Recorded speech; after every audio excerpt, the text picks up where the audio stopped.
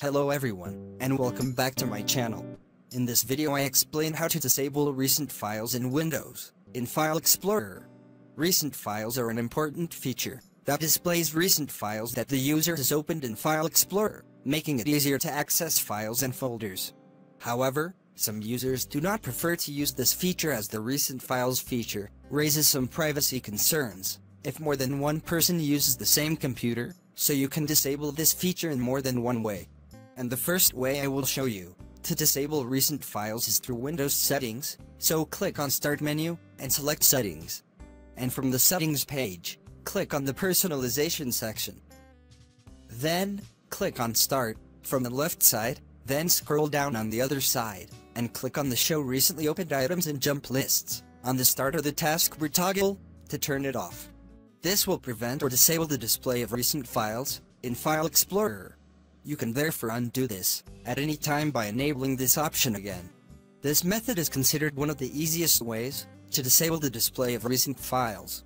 There is another method that is considered manual, which is to open the storage location of these files and delete them manually, from time to time.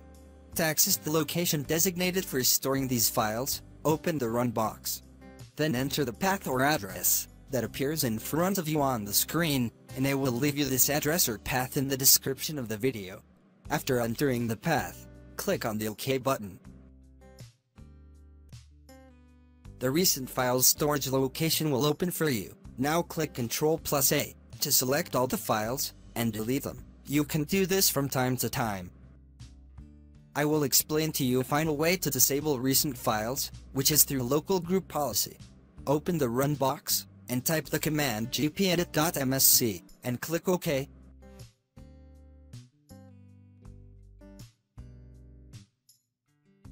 After opening the local group policy editor, go to the left side, and expand the folders, click on Administrative Templates, under User Configuration. Then select Start menu and Taskbar, and then go to the other side, to the available options and look for the option, Don't keep the history of recently opened documents and double-click on it to open it.